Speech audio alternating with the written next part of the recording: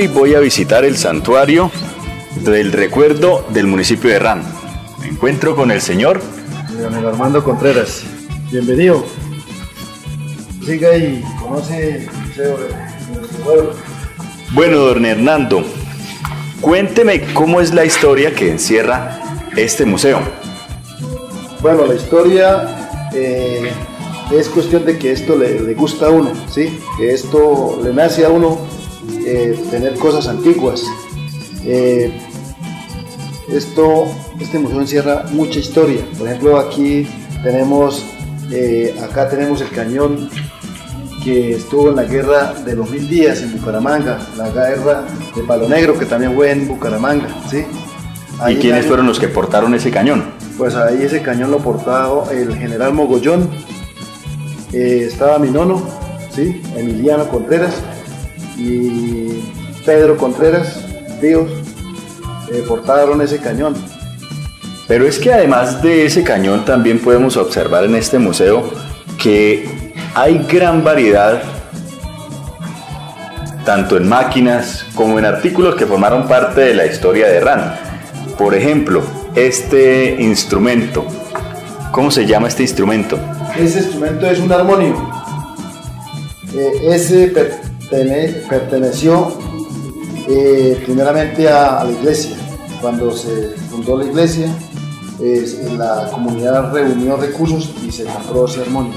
Eso es a base de, viento, ahí tiene, ¿sí? Pero, pero como todo ha venido modernizando, entonces ya esos instrumentos se van deteriorando. Pero ahí está para el recuerdo de Ram. ¿Y qué historia encierran estos sombreros que están encima del armonio? Me llama la atención porque hay algunos como de, guardias y otro de, campesinos. Esos sombreros encierran la historia de, del sombrero este que les voy a mostrar. Es un, un, kepis que, que nos dio la Lotería de Cúcuta cuando formamos parte de la banda. Acá entonces nos dio el uniforme completo y nos regaló el kepis. ¿De qué año estamos hablando aproximadamente? Yo creo que estamos hablando de los años 80.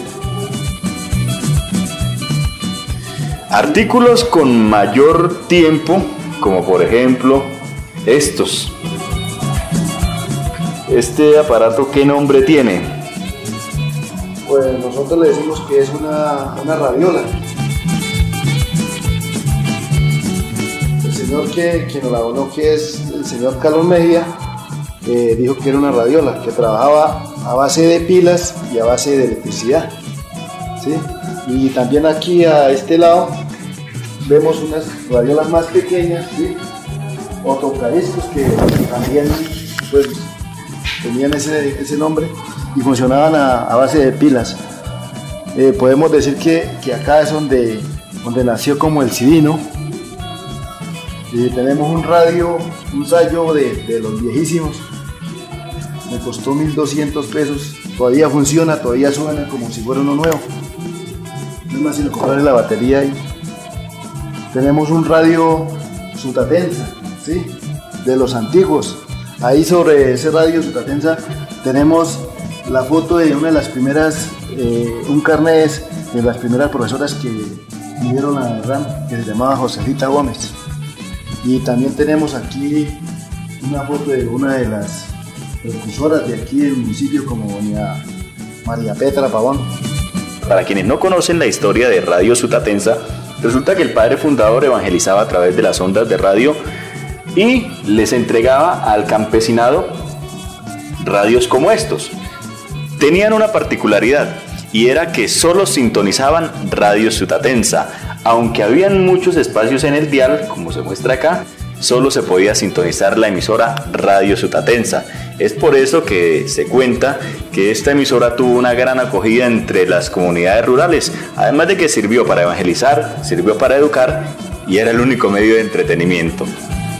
Pero continuemos recorriendo este museo porque hay algo que me llama la atención y es toda esta serie de herramientas más o menos ¿de qué años estamos hablando de que se utilizaban estas herramientas en el campo?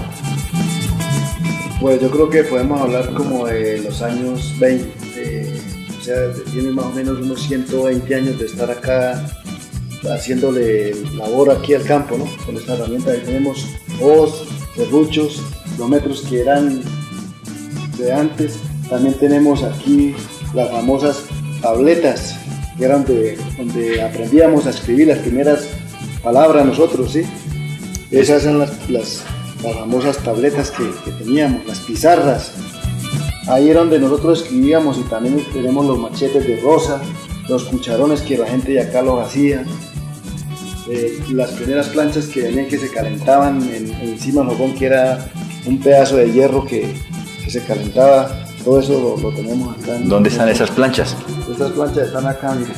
Nos trasladamos para conocer esas planchas de vapor de las que nos están hablando. Esta es una de las, de las primeras planchas que hubieron en el mundo, no solamente aquí en Irán, sino en el mundo.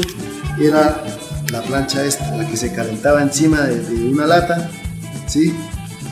Y se ponía al rojo vivo y, ahí sí comenzaban a planchar. Para eso, para planchar eso, utilizaban un trapo para que no fuera y la, ropa. Después de estas planchas, vinieron las planchas a vapor, ¿sí? las de carbón. Entonces, el carbón se prendía, se llenaba la plancha. La plancha tenía como una parrillita para que no se fuera a quemar la ropa. Si ven, mire la, la que hay acá. Lo llenaban, volvían y lo tapaban, y aseguraban acá atrásito y quedaba la plancha a vapor. ¿Sí? Luego ya pues aparecían las planchas de gasolina. Que son estas. Plancha de gasolina. ¿Sí? Y acá se le, se le envasaba la gasolina.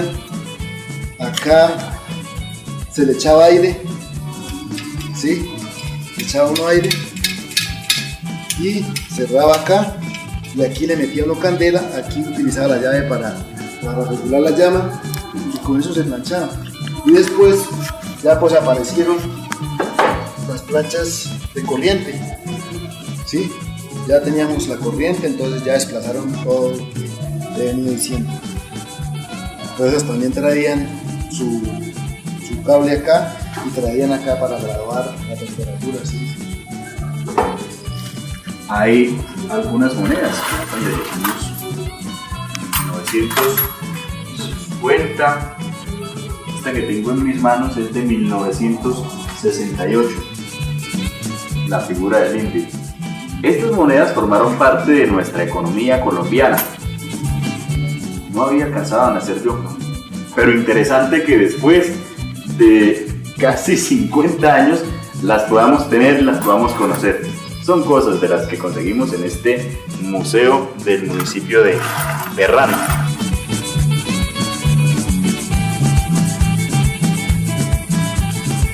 Vamos a pasar a la sala donde se encuentran las antigüedades indígenas, para que usted nos cuente la historia que encierra cada una de ellas.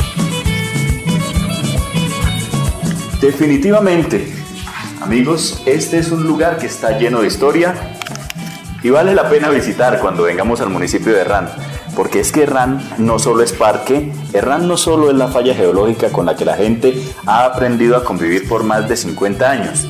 Herrán es historia, Herrán son triunfos deportivos. Herrán es una transición en el tiempo en la que observamos las máquinas de escribir, pero también podemos observar cómo la llegada de estos electrodomésticos o aparatos que son los computadores desplazaron las máquinas de escribir.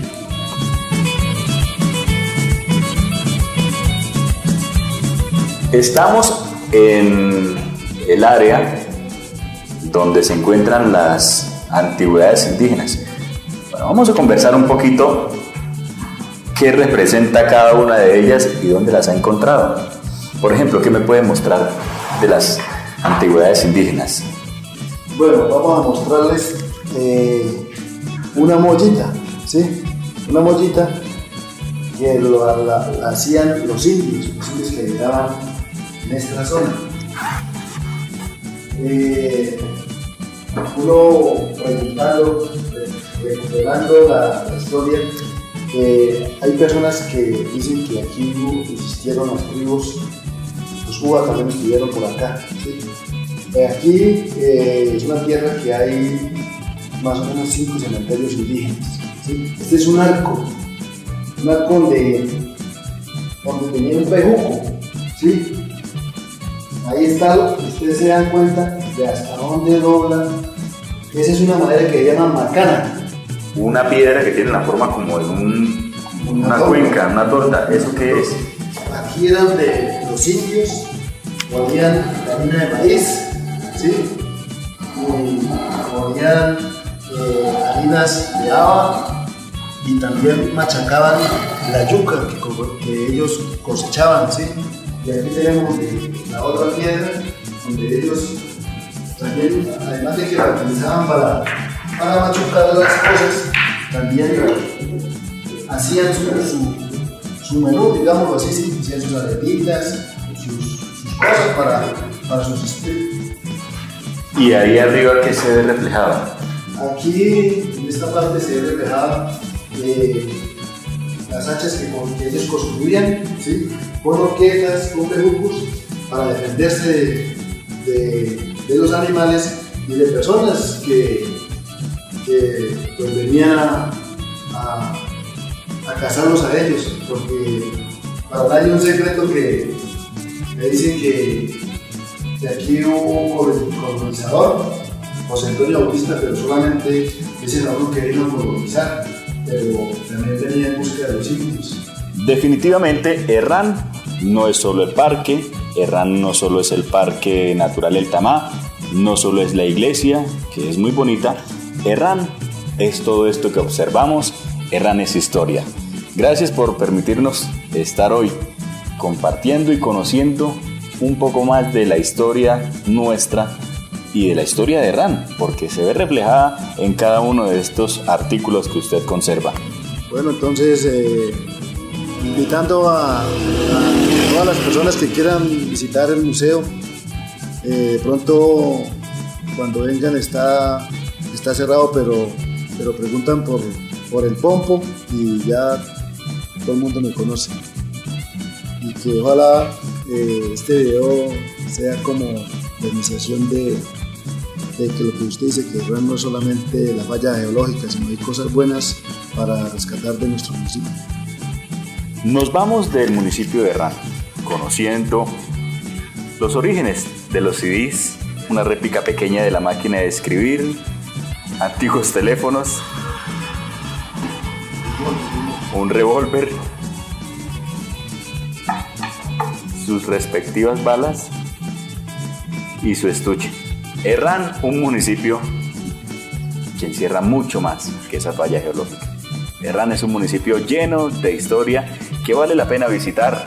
Bueno, muchas gracias. Bueno, ya la orden. bien. Continúo mi viaje a través de los diferentes municipios de norte de Santander, descubriendo las riquezas culturales que encierra cada uno de los mismos. Hoy estuvimos en Herrán.